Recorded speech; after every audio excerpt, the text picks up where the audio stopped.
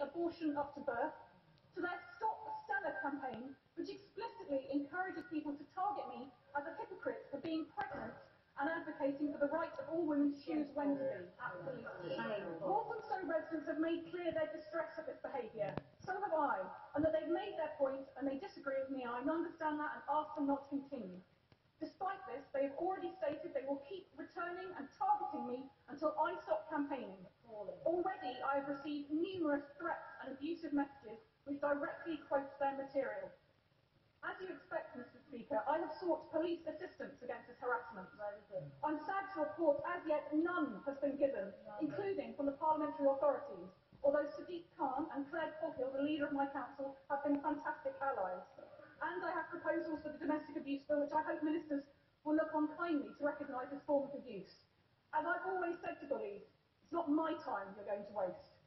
However, Mr Speaker, perhaps one of the troubling things about importing this kind of campaigning into our politics because they have said now they are going to extend their process to other MPs, and they're clearly influencing debate in this place, as some, even in this chamber, have said that I wish to kill babies.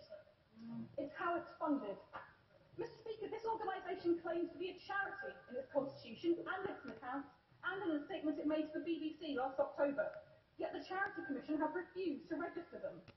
Nor is it clear whether they have repaid the gift aid that they previously claimed under the auspices of this charity status. If not, given that they knew they weren't registered with the Charity Commission, this group has facilitated tax evasion, which of course is a criminal offence. Nor is it clear if they are complying with the rules for third-party campaigners in the run-up to an election, or whether they are accepting illegal foreign donations, given that they are part of a network of such organisations across the world. As I understand, they've also threatened to sue journalists who ask them about these matters, so we cannot have clarity about who is funding this sustained campaign of intimidation from an organisation whose counterparts in other countries have picketed maternity hospitals with babies' coffins and incited such hatred and radicalisation that it has resulted in violence, including a mass shooting in a Planned Parenthood in Colorado.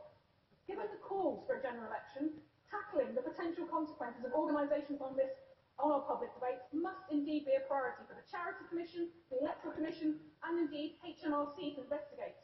I'm sure we would all want to know whether all taxes are paid, all donations declared, and all donors legal for such groups.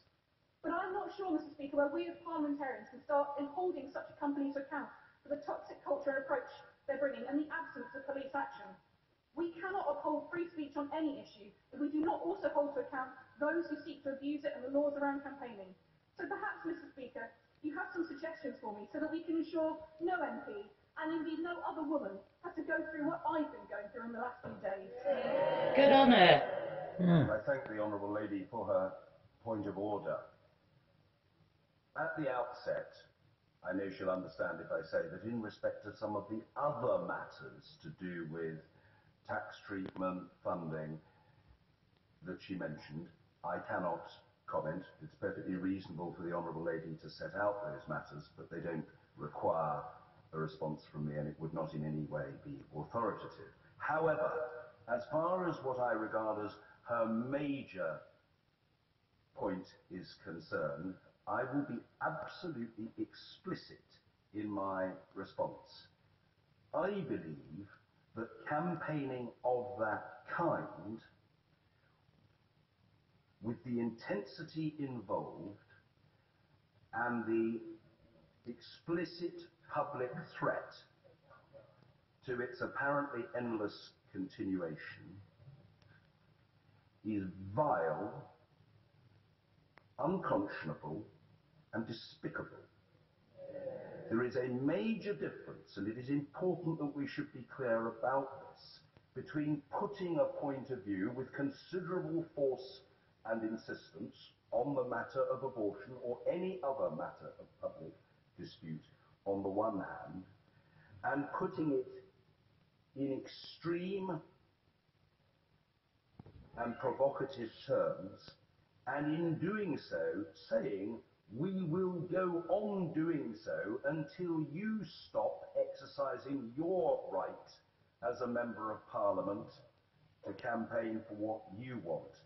Give in to our intimidation, our threats and our bullying or it will be the worse for you. That, to me, colleagues, I hope I carry the support of the majority of the House in saying this, is rank unacceptable. And it displays, if I may say so, and I will, an absence of any moral compass. Anybody who thinks seriously about these matters cannot seriously think that that is right. It would be wrong in any case, but for the Honourable Lady to be subject to that treatment when she herself is pregnant and those intimidating and harassing her, ultimately unsuccessfully, know that to be so is doubly appalling.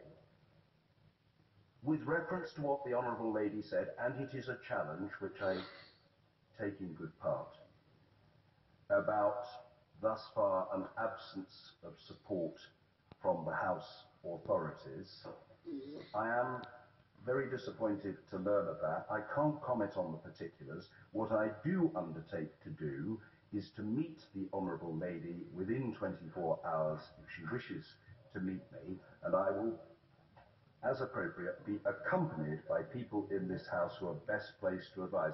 I'm delighted that the Mayor of London and his team are supporting her, but she is entitled to proper and unstinting support from the House authorities. If she feels that that is not the case, and there is more that we can do, or things that we haven't done at all that we should be doing, then I'm determined that she should get that help. The Honourable Lady, of course I will come to the Minister, the Honourable Lady is respected across this House as an extremely dedicated, articulate and principled campaigner for her causes. For her causes. Nothing on earth can be allowed to prevent her continuing in that vein. And although it is not a matter of order within the chamber, it is right that she should seek the support of Parliament's spokesperson as she wants to reinforce her right to go about her business in a legitimate way. She has that right, and I stand absolutely with her in insisting on the continued exercise of that